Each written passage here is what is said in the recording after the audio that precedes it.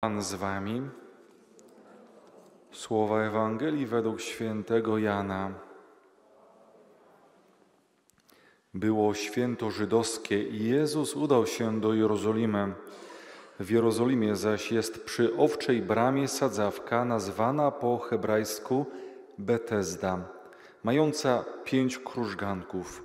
Leżało w nich mnóstwo chorych, niewidomych, chromych, sparaliżowanych. Znajdował się tam pewien człowiek, który już od lat 38 cierpiał na swoją chorobę. Gdy Jezus ujrzał go leżącego i poznał, że czeka już dłuższy czas, rzekł do niego: Czy chcesz wyzdrowieć?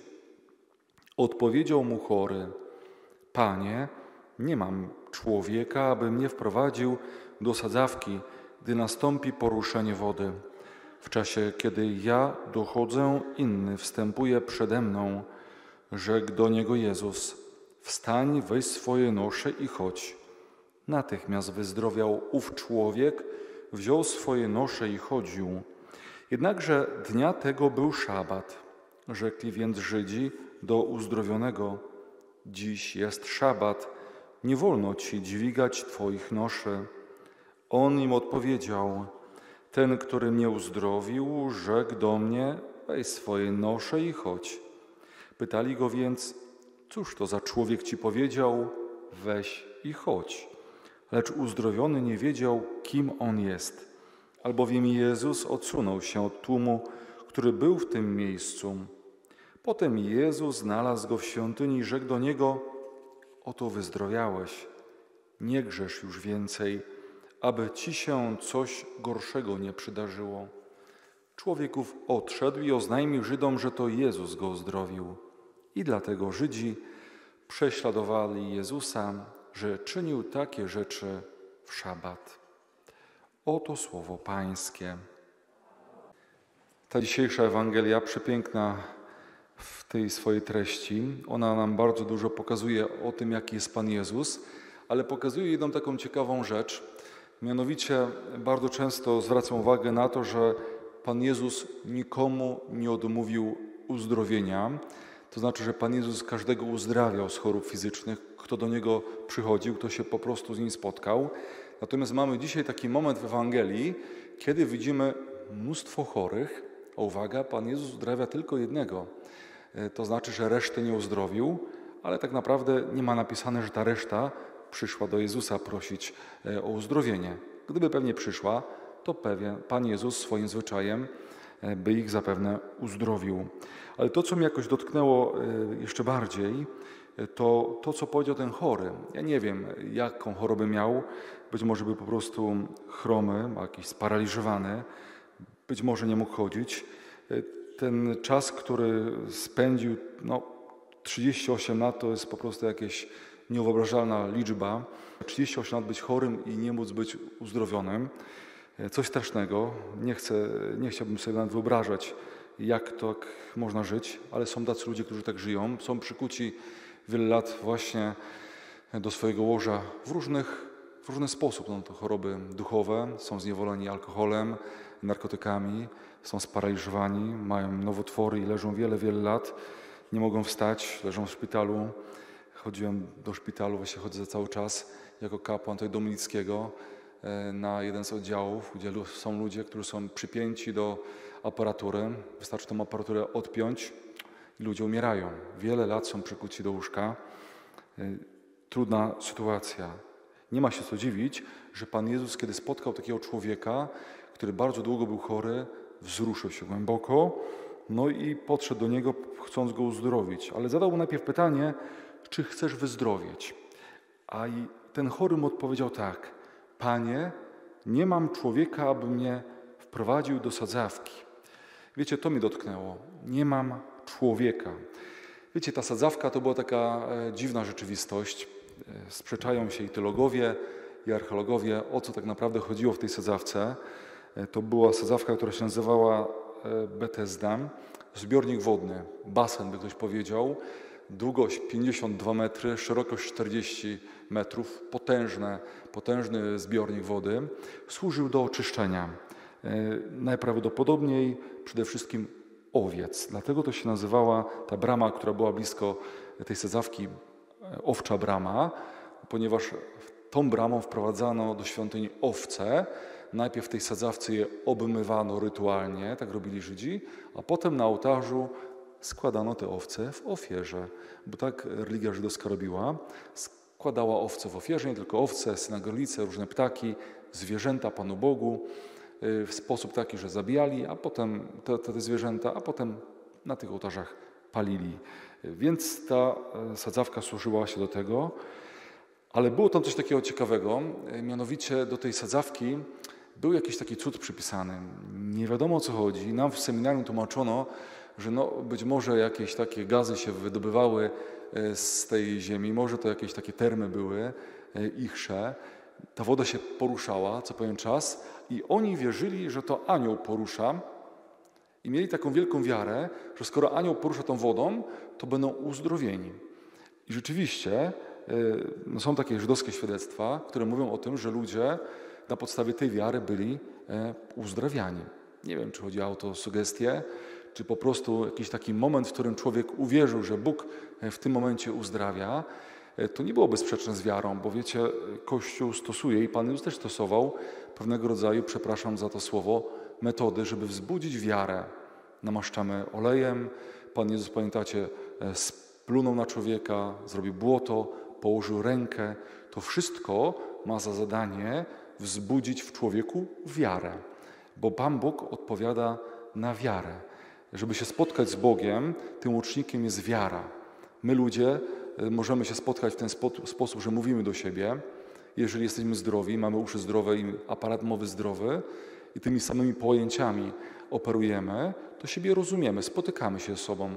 Możemy się spotkać dotykając się ze sobą, wąchając siebie nawzajem, też można prawda, w jakiś sposób. E, to jak się przez zmysły się człowiek spotyka, prawda? A z Bogiem można się spotkać tylko i wyłącznie przez wiarę. On jest duchem. Dlatego pewne metody albo rzeczy, które są w kościele nawet, e, to są sprawy, które mają nas otworzyć na wiarę. Sakrament, e, nazwa sakramentu niewidzialny, znak widzialnej łaski, prawda? Księża wodą chlapią, prawda?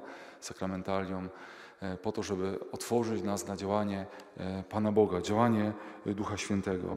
Więc nie ma się co dziwić, że ci Żydzi wierzyli, że ktoś tam porusza, jakiś anioł. Najprawdopodobniej to rzeczywiście anioł nie był, ale mieli wiarę. O, Bóg teraz uzdrawia. Wchodzili i byli uzdrawiani. Jakoś nie wiem dlaczego, tylko jeden był uzdrawiany, reszta nie. I w każdym bądź razie rzeczywiście widzimy, że Pan Jezus podszedł do człowieka i się zapytał, czy chcesz być uzdrowiony. On powiedział, że nie ma tego człowieka. Ja tak sobie myślę, że wiecie, że jest dzisiaj wielu ludzi chorych.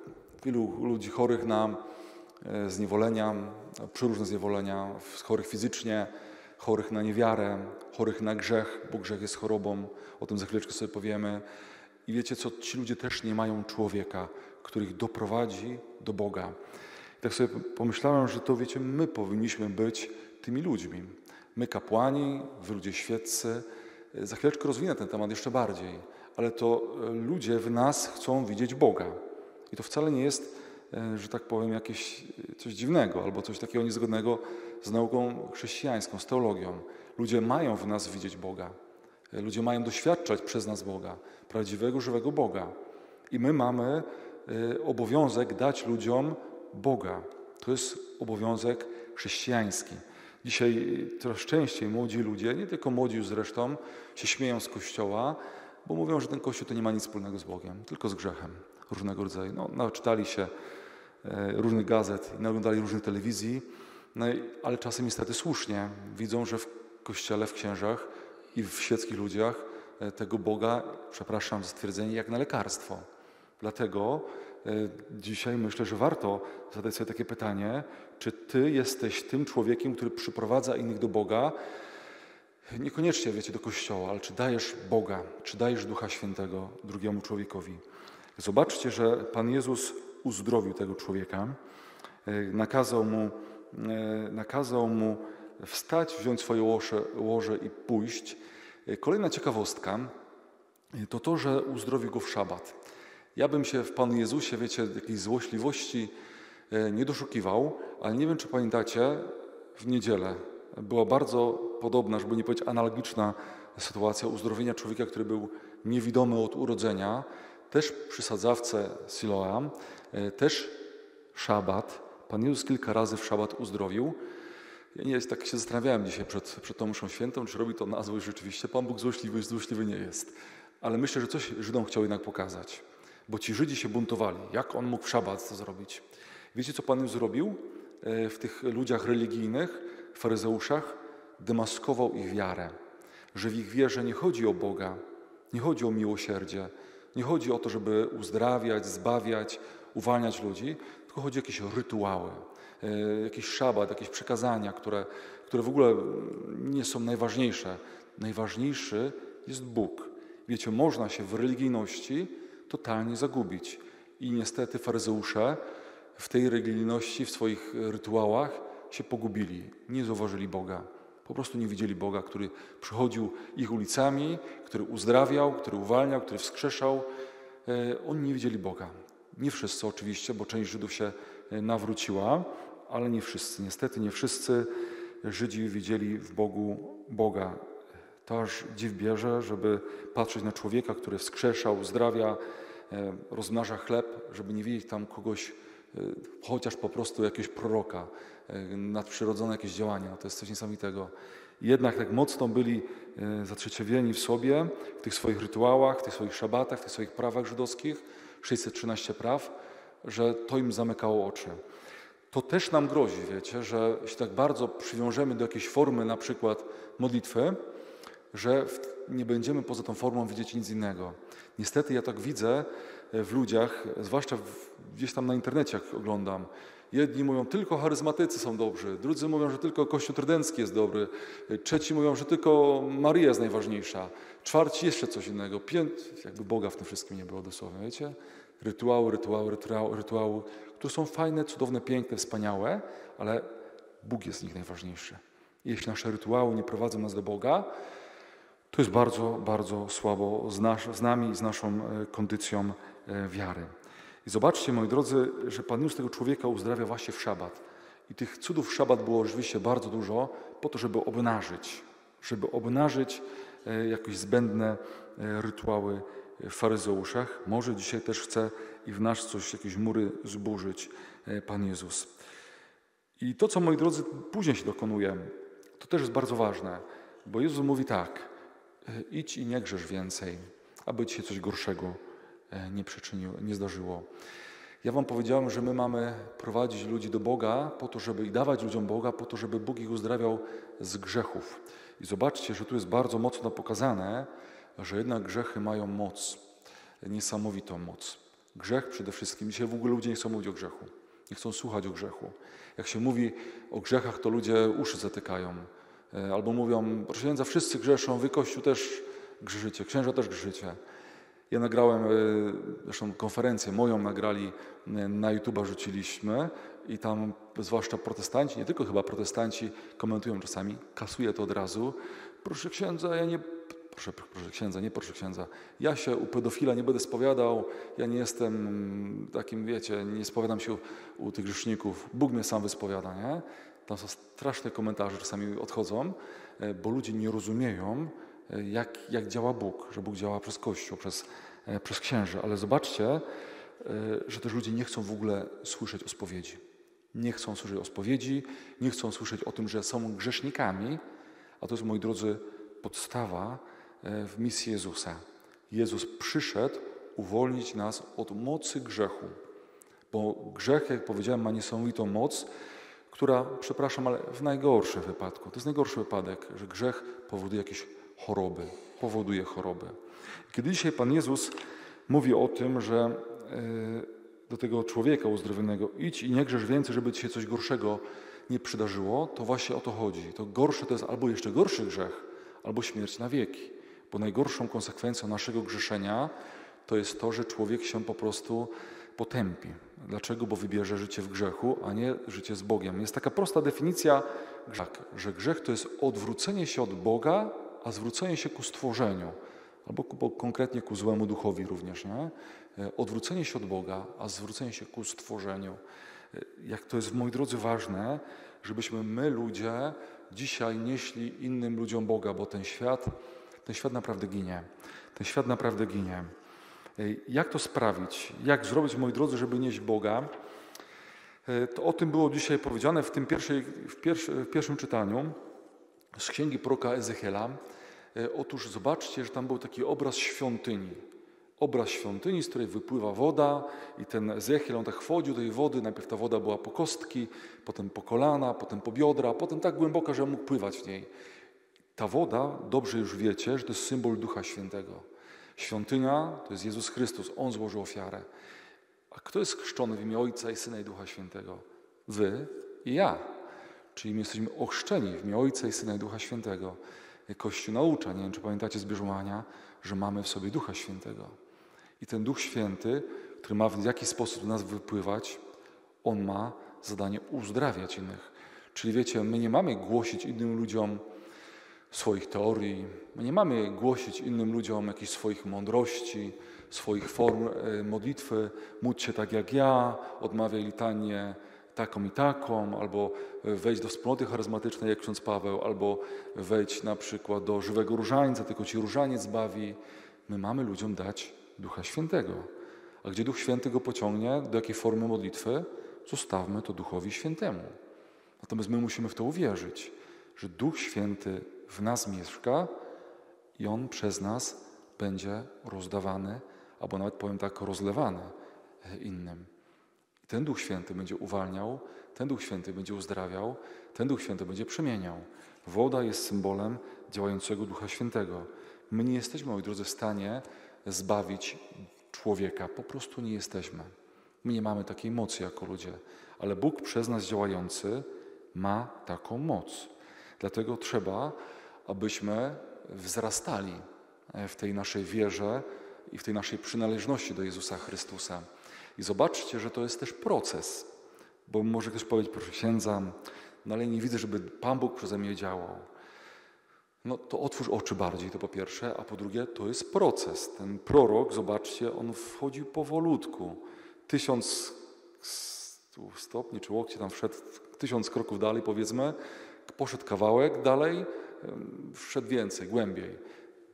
Robił pewne, pewien progres, prawda? E, rozwijał się coraz bardziej, coraz głębiej, w głęb, coraz tak jak w bardziej głębiny, na głębiny wychodził, prawda? To jest proces. Tylko człowiek musi iść za Bogiem, musi tego Boga poznawać i coraz bardziej Go rozumieć, tak jak Jezus chce być rozumiany. Nie tak jak faryzeusze rozumieli. Nie rytualnie, nie jakoś tak zgodnie e, z jakimś tam prawem. Bóg jest żywy i chce, żebyś miał z Nim relację. A każda relacja, jak się poznaje chłopak z dziewczyną, to to się, słuchajcie, to to nie jest tak, chociaż dzisiaj w świecie tak jest, że się na pierwszej lance ląduje w łóżku, ale normalnie Bóg to zaplanował tak, że się poznaje, rozmawia, e, jakie masz hobby na pierwszej lance, na drugiej nie wiem, jakie lody lubisz, na czwartej nie wiem, co, co, gdzie pracujesz, gdzie się uczysz, na piątej rance, czy staniesz moją żoną, na szóstej rance już są razem, nie wiem, nie, nie wiem jak to wygląda, ale potem dopiero e, po ślubie lądują w łóżku, prawda? Są zjednoczeni ze sobą. I tak samo, mój drodzy, jest z Bogiem. Tak samo jest z Bogiem. My się poznajemy stopniowo. I potem, jak jesteśmy tak mocno zjednoczeni z Bogiem, to Bóg nam daje wszystko, co ma. Tak jak w małżeństwie. Wszystko, co ma żona, oddaje mężowi. Wszystko, co ma mąż, oddaje żonie. Dopiero jak my mamy takie zjednoczenie z Bogiem, to Duch Święty wypływa z nas, przepływa. Święci to widzieli. Święci to widzieli, pisała Teresa o tym, święta Faustyna, Jan od Krzyża. Jest to czasem długi proces, chociaż ja widzę, że we współczesnym świecie Pan Bóg bardzo mocno ten proces przyspiesza. Więc moi drodzy, czujcie się zaproszeni do głębokiej relacji z Jezusem Chrystusem, po to, żeby Duch Święty mógł przez Was działać, bo On już Was mieszka, ale pozwólcie Duchowi Świętemu przez Was działać jeszcze bardziej, kiedy będziecie czytać Słowo Boże, poznawać Jezusa, wierzyć w Jego moc, Jego działanie, i wtedy ten świat będzie przemieniany, inaczej mówiąc, uzdrawiany. Tak jak Jezus uzdrawiał z grzechów, uzdrawiał z chorób, tak Duch Święty, który będzie przez Was działał, będzie czynił to samo. Ale zapragnijcie wejść na tą ścieżkę rozwoju wiary, ścieżkę rozwoju duchowego, ścieżkę rozwoju relacji z Jezusem. Amen.